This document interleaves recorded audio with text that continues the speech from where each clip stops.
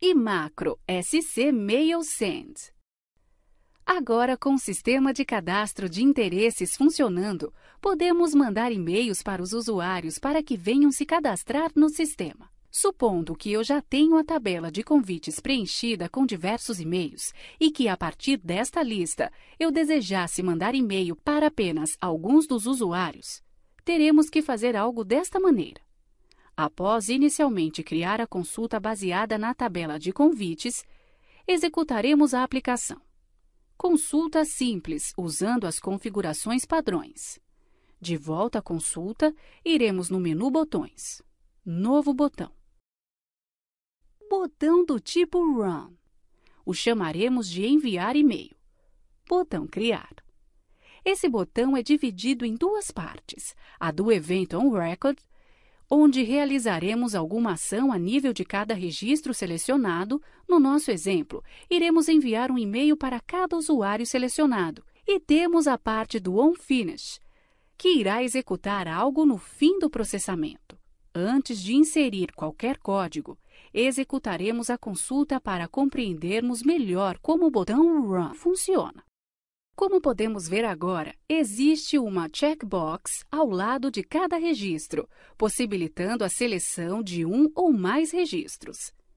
Apertando no botão Enviar e-mail, o Script Case realizará ações específicas criadas no código digitado no evento OnRecord no botão Run para cada registro selecionado e depois executará o código do evento onFinish.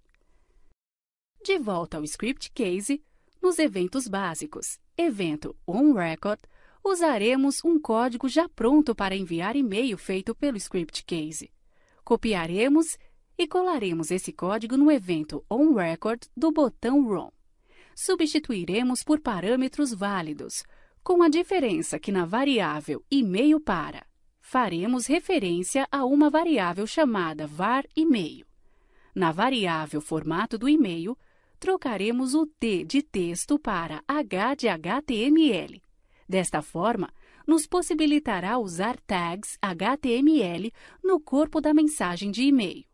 Na variável mensagem do e-mail, criaremos um pequeno texto referenciando a variável var nome e var link. Para finalizar, no começo do evento, atribuiremos as variáveis referenciadas na macro, o e-mail e o sobrenome do registro atual. E na variável link, usaremos o link do site do Script Case. Executemos nossa consulta. Selecionaremos apenas esse registro, botão Enviar e-mail. Aqui está o e-mail gerado pelo sistema.